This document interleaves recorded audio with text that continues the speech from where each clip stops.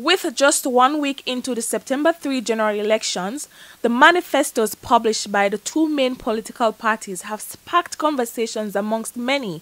Some persons are not impressed with a portion of the Jamaica Labour Party JLP's manifesto, which promised to provide 100% financing towards home for young persons.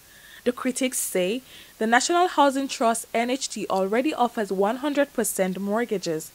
But chairman of the JLP's Manifesto Committee, Senator Kamina Johnson Smith, has explained that her party is proposing to extend the benefit to persons buying homes outside NHT schemes.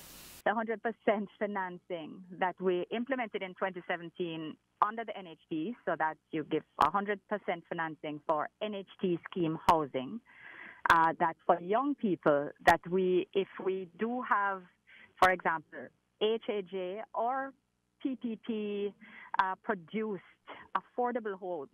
Because remember, this is 70,000 affordable housing solutions.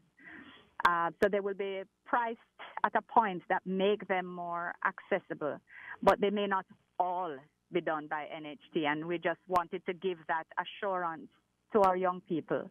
In addition, Mrs. Johnson Smith says if her party wins the election, they will provide $1 billion yearly for construction of houses to some of the less privileged Jamaicans. There are persons who are at a particular level of vulnerability, who are prone to squatting. They are not in an income bracket, whether by you know consistency of work or by level that would allow them to get into a regular paying schedule, uh, like a mortgage, and even like rent for that matter.